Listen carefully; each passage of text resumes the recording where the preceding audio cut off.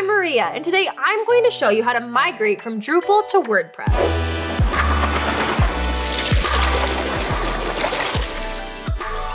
Drupal is one of the best content management systems available. It's highly scalable and secure software. However, creating stylish modern websites using Drupal isn't as easy as it could be. If that's your experience, migrating from Drupal to WordPress could be the answer. In this video, we'll discuss what you need to do before your move, and then go through the migration process step by step. But before we get too far, I want to let you know that there will be links to more resources in the video's description. And remember, subscribe and ring that bell to get notifications for future helpful content. Many web hosts enable you to choose between Drupal and WordPress, among many other options. When you're setting up a new website, your provider might also host multiple websites through its platform. If you have a hosting plan that supports multiple websites, you can set up a new one for WordPress. Doing that will enable you to migrate your Drupal website without signing up for a new hosting provider or changing plans. That approach works well if you're happy with your current hosting provider. Moving to WordPress opens up a whole world of possibilities and dedicated hosting services. Many providers focus entirely on WordPress websites and offer features to make life easier for users like you. Kinsta is one of them. Managed WordPress hosting takes a lot of maintenance work off your hands. Some tasks that you don't have to worry about if you're using Kinsta include backing up your website, obtaining and installing an SSL certificate, integrating your website with a content delivery network, scanning for and removing malware from your website. Before you sign up for any web hosting service, we recommend researching. There are plenty of great Kinsta alternatives that can suit your needs if you're working with a limited budget or looking to host a personal website. Whenever you're about to make significant changes to your website, we recommend backing up everything first. The Drupal migration process doesn't involve deleting any files from your website. However, it never hurts to follow best practices if something goes wrong. Backing up Drupal websites is a relatively involved process. The CMS doesn't include any built-in backup tools, so you need to do everything manually. Backing up a Drupal website involves making copies of two components, your site's database and the Drupal root directory. Drupal officially recommends using modules for backing up your database. Two of the developer recommended options are backup and migrate and backup database. Once you choose a database backup module, you'll also need to copy the entire Drupal root directory. The best way to do this is to connect to your website via Secure File Transfer Protocol and download a copy of the root folder to your computer. We recommend saving both the database and root directory backup files in the same folder or compressing them together. That way, you'll have a complete website copy that you can use to restore your Drupal website in case anything happens. We'll start from scratch when installing WordPress and moving your Drupal content to the new site. There are several ways to install WordPress depending on your web host. If you're using Kinsta, you'll get the option to install WordPress automatically when you set up a new website. Other web hosts usually come with some software installers. You can use those options to help you set up popular CMSs, such as WordPress, with only a few clicks. If you're more of a DIY kind of person, you can also install WordPress manually. To do so, download the CMS installation files from wordpress.org. You'll need to upload those files to your web host and run the WordPress installer. It will walk you through the rest of the process. Once your WordPress installation is ready, you'll gain access to the dashboard. You'll spend most of your time using WordPress here, so it's wise to get acquainted with it. We'll use a WordPress plugin to migrate your website from Drupal since it's the easiest method. However, before we get to that, we need to choose a permalink structure for your website. Drupal gives you a lot of control over how your website URLs look. Let's say, for example, that you have a Drupal post with the following URL. That's a clean looking URL structure ideal for any website. By default, WordPress uses a different URL or permalink structure that looks like this. After you migrate to WordPress, the content you bring over will lose the URL structure you set up in Drupal. That means your pages and posts will have URLs that look like the previous example. WordPress makes it easy to change your site's permalink structure, and the earlier you do it, the better. If you can change the permalink structure before migrating content, you can easily replace internal links afterward, which we'll cover in another step. For now, go to Settings and then Permalinks and select a new URL structure. Our favorite is the post name option. The post name URL structure enables you to set custom permalinks for each page and post that you publish. Alternatively, you can set up a custom URL structure, but the post name option will suffice in most cases. Traditionally, migrating a website from another platform to WordPress requires a lot of manual exporting and importing of files. However, since Drupal is such a popular CMS, dedicated plugins can help facilitate the migration process. FG Drupal to WordPress is one such plugin, and it's our favorite tool for the job. It will help you connect WordPress to Drupal and migrate all of your site's content, including posts, pages, categories, tags, images, and metadata. It's important to note that FG Drupal to WordPress is a free plugin that offers a premium version. The free software can do everything that we mentioned in the last paragraph. Furthermore, if you pay for the premium license, the plugin can help you migrate comments, user accounts, including authors and administrators, custom fields, and navigation menus. In our experience, the free version of the plugin does everything that most users need. The only caveat is for websites that need to import users. For example, imagine you're running an online store in Drupal and you want to migrate your customer base to WordPress. In this scenario, the premium version of FG Drupal to WordPress can save you a lot of time. Once you decide which version of the plugin to use, it's time to install it. We'll be using the free version, so to follow along, go to Plugins, then Add New, and look for the plugin using the search bar within the page. Click on Install Now and give WordPress some time to install the plugin. When it's ready, you'll see an option to activate it. Select the button, and now let's go to work on importing Drupal content into WordPress.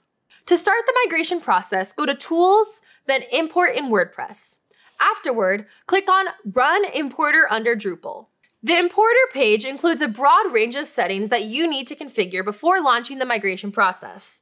Let's start by selecting whether the importer should remove all existing WordPress content. Since you're using a brand new site, you shouldn't need to wipe its contents before launching the migration. However, you can select the Remove All WordPress Content option if you've added any test pages or posts to your website. Next, WordPress will ask for your Drupal site's URL. You'll also need to choose how the plugin will download media files from your Drupal site. The default option uses simple HTTP downloads. However, we recommend the FTP option if you're dealing with a large website with a broad library of content. You'll need to enter the FTP credentials that you use to access your Drupal website. If you're not sure what these credentials are, you should be able to access them through your web hosting control panel. However, make sure that you're using the credentials for your Drupal site and not the ones for WordPress. After you enter the credentials, you can click on the button that says Test the FTP connection.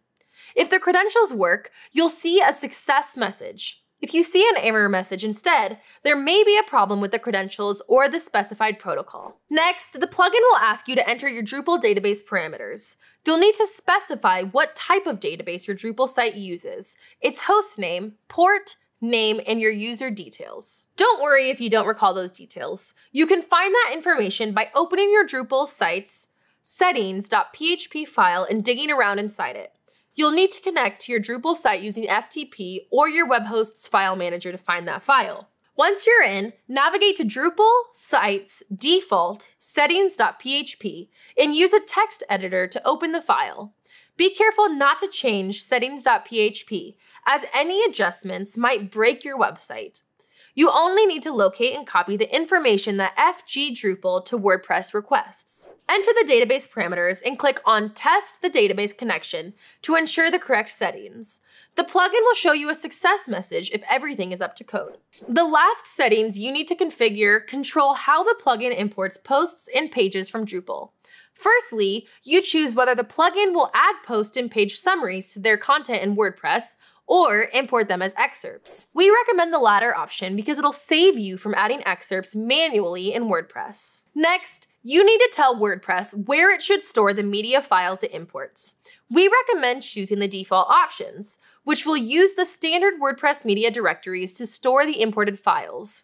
You can also choose which image WordPress should use as a featured element for your posts and pages. The image field option will select the image file you use in Drupal. You can see it here below the Drupal editor and the tags field. The rest of the plugin settings enable you to stop the program from generating thumbnails or adding the featured image to the body of your imported content. We recommend keeping all of those extra options disabled. Here's what your media settings should look like now.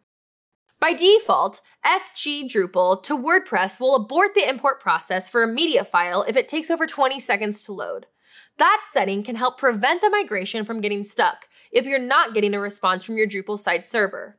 However, it shouldn't be an issue if you're using a decent web host. Now that you're ready, click on the Start slash Resume the Import and follow the migration process through the progress bar and log field right below. Once the migration is complete, you'll see a final success message. Before you leave this page, scroll down to the After the Migration section and click on the button that says Modify Internal Links. That feature will update internal links within your website to reflect the new WordPress permalink structure. After you use it, we recommend checking out some of your pages and posts to ensure internal links are working correctly. It's essential that you only do this process after setting the permalink structure for your WordPress website, which we did during the previous step. If you modify the permalink structure afterward, your internal URLs might not work. By now, all of your Drupal content is in WordPress. You have a fully working website, and the only thing missing is updating your domain info. Right now, if visitors try to access your domain, they'll go to your Drupal website. Instead of registering a new domain, you want to point the existing one toward WordPress. That process can vary depending on whether you used a domain registrar or set up the domain through your hosting provider. If you used a domain registrar, you'll need to access your account from that platform and update the property's DNS settings. That information tells the domain where it should direct visitors. If you're not sure how to change these settings, you can check your domain registrar's documentation. Alternatively, if you're a Kinsta customer, you can use My Kinsta to point a domain towards your website. You'll need to verify the domain during the process, but Kinsta will take care of the rest. Although all of your Drupal content is now in WordPress, your website probably looks a lot different than before. That's because you're likely using one of the WordPress default themes. They're not bad options, but they're meant to be customized or replaced with other templates. One of the many upsides of using WordPress is that you have a massive number of choices for themes. There are thousands of free and premium themes to pick from. If you're new to WordPress, we recommend starting your search in the WordPress.org theme repository. If you have access to a staging website, you can test new themes before making any changes permanent. That way, you'll be able to try dozens of themes without impacting the user experience on your website. After you choose a theme, you can start customizing the style of your pages and posts using the block editor. The block editor's experience is miles ahead of what Drupal offers with features and ease of use. Therefore, it'll probably become one of your favorite aspects of WordPress. You can even customize your WordPress theme itself. If choosing a template proves difficult, we can point you toward our favorite WordPress themes. That list includes options for different types of websites, so the chances are good that you'll find something that you like. Plus, all of them are responsive. It's also worth noting that you don't need to pick a theme that looks like your previous Drupal website. Migrating from Drupal to WordPress gives you the perfect opportunity to redesign your site and give it the refresh it deserves. If you're using a single web host for both sites, you don't need to rush to delete the Drupal site. However, if you're paying for two hosting plans, there's no reason to keep spending that money. You could temporarily keep the Drupal website around if you missed anything during the migration. Once you're sure that you completed the process correctly, go ahead and delete the site. In a worst case scenario, you have a backup of that website right before the migration. As for WordPress, you have plenty of new features and tools to play with. For starters, we recommend that you check out the WordPress.org plugin library. It contains thousands of free plugins, many of which can add features that you didn't know your website could offer. Finding the right plugins can be just as tricky as choosing a perfect theme when you're new to WordPress. That's why we put together a hand-picked list of the best WordPress plugins for you to try out. Do you have any questions about how to migrate from Drupal to WordPress? Let's talk about them in the comments section below. Kinsta's WordPress hosting can speed up your website by up to 200%, and you'll get 24-7 support from our expert WordPress engineers. We offer two months free with any annual plan, a 30-day money-back guarantee, and unlimited free basic migrations from any host. Head over to kinsta.com slash plans to get started. Thank you so much for watching. If you found this video helpful, please don't forget to like, subscribe, and hit the notification bell for more tutorials explainers, and helpful content like this.